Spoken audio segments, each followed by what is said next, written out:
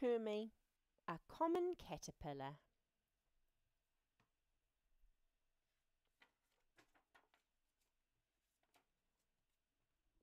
Written by Max Lucado.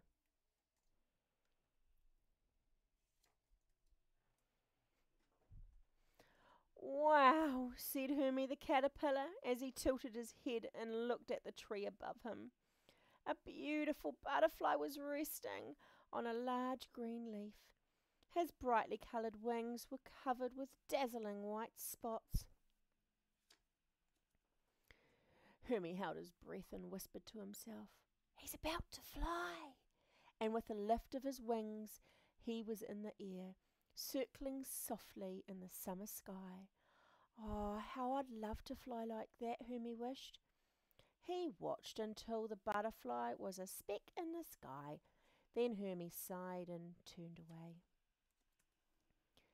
Now, as a rule, caterpillars aren't very exciting, but Hermie was even more ordinary than most. Some caterpillars have spots. Not Hermie.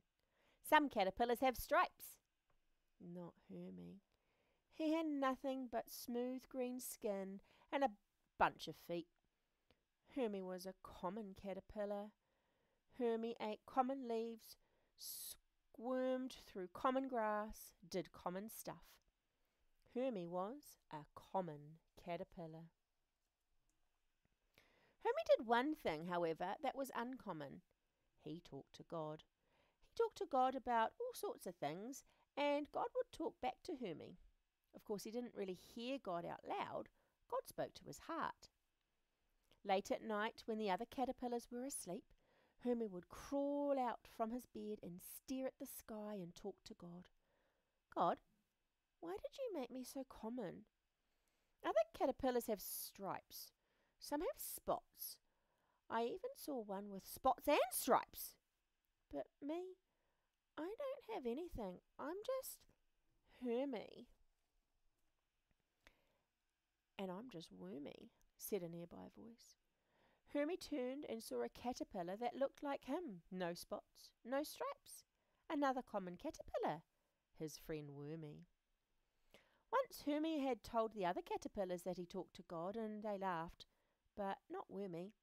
He understood. That's how they had become friends. Wormy talked to God too. When Hermie and Wormy felt common, God would tell them, Don't worry, I love you both just the way you are, and I'm not finished with you yet. And so they would feel better for a while, but then something else would happen and they would feel common again, like the day they met an ant. The ant was smaller than either of them, but on his shoulder was a big pine cone. They were amazed at the strength of the ant. My, Wormy exclaimed, how do you carry such a big load? It's how God made me. He made me strong. And off marched the tiny ant with the big load. That night, Hermie and Wormy asked God, Why can't we be strong like the ant? We could never do what he could. Why did you make us so common? God's answer was the same as always. Don't worry, Hermie and Wormy. I'm not finished with you yet. I'm giving you a heart like mine. And they felt better at least until they saw a snail. One afternoon, the sky opened up and the rain drenched the ground.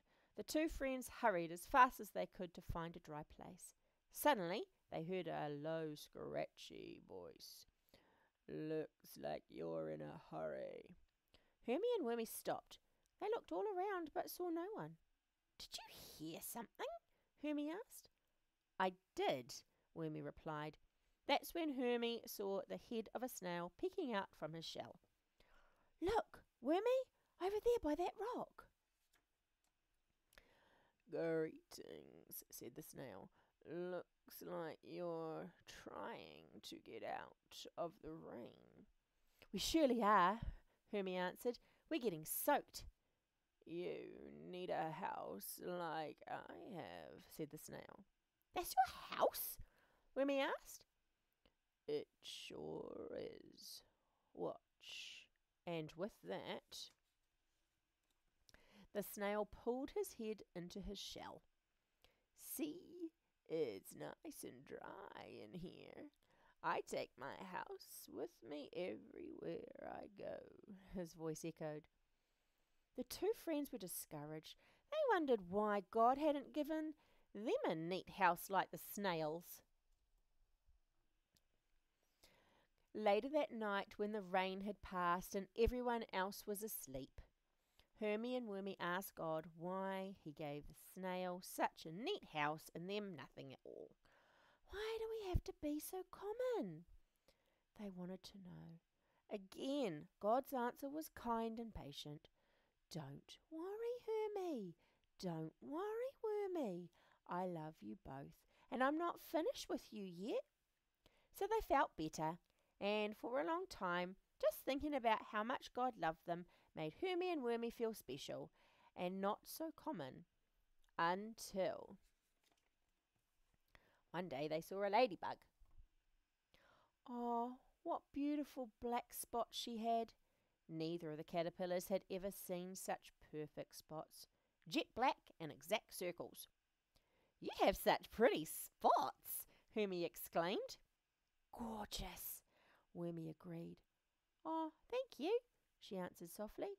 Then the ladybug blushed because she was very shy. I mean it, Wormy continued. We've never seen anyone with such beautiful spots. You're very kind, she replied, but I had nothing to do with it. This is the way God made me. Hermie and Wormy wanted to be grateful for the gift God had given the ladybug, but it was hard. Both of them felt so common. That night, underneath the bright stars, Hermie prayed, God, we know you are good and wise. We know you love us just the way we are, but we don't understand why you made us like this. We are so very common. God finished the sentence.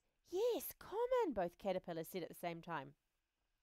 Remember, God told them, I love you just the way you are. But I am not finished with you yet. I'm giving you a heart like mine. Hermes sighed. he wanted to feel better. He tried to feel better. Usually he did feel better, but that night he still felt sad. He also felt tired. Very tired. More tired than usual. Wormy, he told his friend, I'm so very sleepy. I feel like I need to sleep a long time. Then let's make you a soft, comfy bed. It took them a while to find just the right leaf. There, Wormy said to his friend, have a good long rest. I'll be waiting for you when you wake up. Hermie thanked his friend. Then he prayed to God and said, You know, God, it's okay that I'm just a common caterpillar. You love me, and that makes me special. Hermie snuggled into his bed, closed his eyes, and drifted off to sleep. As he slept, he dreamed that he was different. He had strength like the ant. He had a house like the snail. He had spots like the ladybug. He dreamed that he was no longer a common caterpillar, but that he had something special. After what seemed to be a long time, he woke up. He thought he had slept through the day and into the night because everything around him was dark. He was covered from head to toe. What had happened to his comfy bed? He wiggled and squirmed to get out, and when he did, he in his bed began to fall. Suddenly, his bed cracked open, and Hermie felt a tickle on his back something wonderful happened. Wings fluttered open, wings he didn't even know he had. They were glorious, wide, brightly coloured wings with beautiful spots, and they were his. With hardly any effort, Hermie began to fly up and up, higher and higher. That's when Hermie realised what God had done. now he understood. God had made Hermie special, inside and out. He wasn't like the ant, or the snail, or the ladybug. He was unique, one of a kind. No one else was exactly like him. He was Hermie, a beautiful butterfly with a beautiful heart. He soared high through the air, to the right and to the left, and he thought of his friend Wormy. From the air, Hermie looked down at his broken bed. Nearby were the ant, the snail, and the ladybug.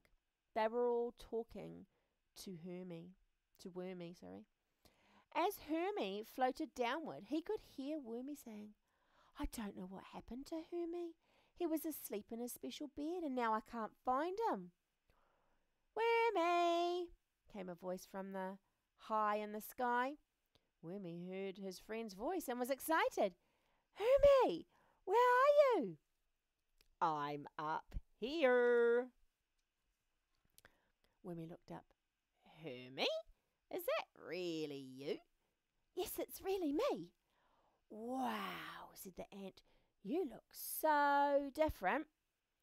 Goodness, gasped the snail. You are so big. Gracious, admired the ladybug. You are the most beautiful butterfly I've ever seen. God was not finished with me after all, Hermie announced. Then he flew down and stopped right next to Wormy. He gave a big butterfly grin and whispered, Wormy, God loves you just the way you are. But guess what? God is not finished with you either, my friend. You don't think so? I know he's not. You know, you may be right. I'm starting to feel pretty sleepy too. Wormy yawned a big yawn. Hermie smiled a big smile.